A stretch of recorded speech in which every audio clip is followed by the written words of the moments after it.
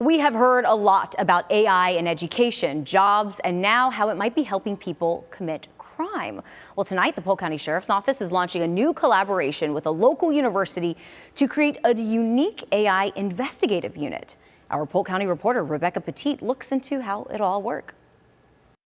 I am thinking of moving to Polk County because of the great men and women he has working on his team. This AI generated video of Elon Musk is exactly the type of misuse of technology the Polk County Sheriff's Office wants to get ahead of. This is fake in a real world, and we're frightened to death of the negatives of AI.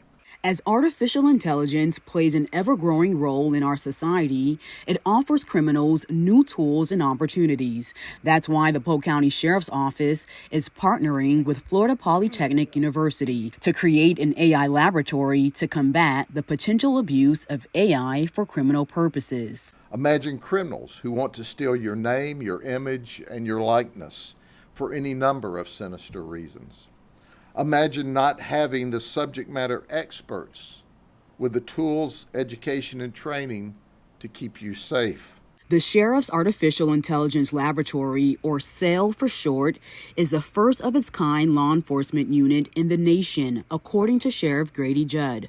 Among its list of goals, the main one for the new unit is to assist in criminal investigations involving the use of AI. We've already discovered AI generated child porn where they've taken children's faces from books, from people's social media and superimpose that face on an image to make it look as if it was that child. Florida Poly researchers and students will work with the Sheriff's Office to provide training, technical support, and craft solutions.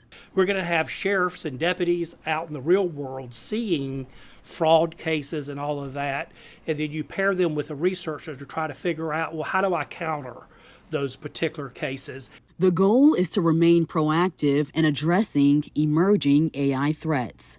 I'm Polk County reporter Rebecca Petit, ABC Action News.